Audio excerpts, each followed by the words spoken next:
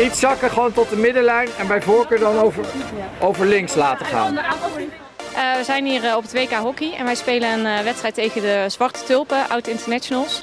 En wij zijn van de Rabobank. Een hele unieke ervaring, dus top.